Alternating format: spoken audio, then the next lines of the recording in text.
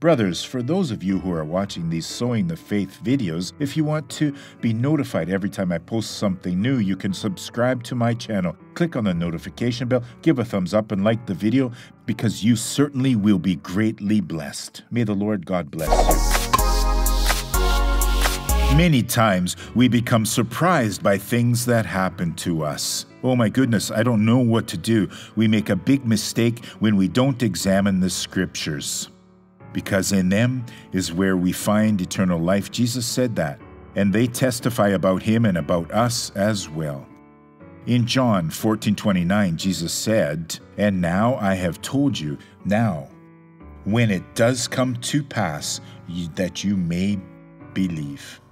So he has precision in everything that is going to happen. He knows those who have the habit of reading the Bible every day and pays attention to what it says and then pray paying attention to the prayer and with determination.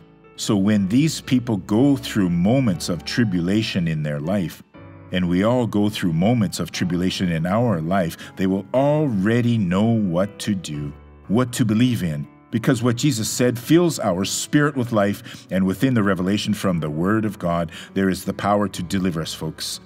Take a look at a person who received a blessing. For two months, I had a sprained muscle and I couldn't walk properly.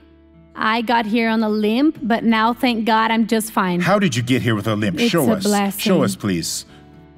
I couldn't step firmly. You couldn't step firmly. So walk normally now, daughter of Jesus. She was healed, folks. Glory to God. Now I want to pray for you. Shall we speak to God, Father? Thank you so much. I pray now for these people who are in need, are in necessity, those who have a great need in their life in need of a work from the heavens. Father, it might be the most serious of all the problems. But now I unite my faith with the faith of these people. I rebuke all the evil now and say, Get out. In the name of Jesus. And you say, Amen.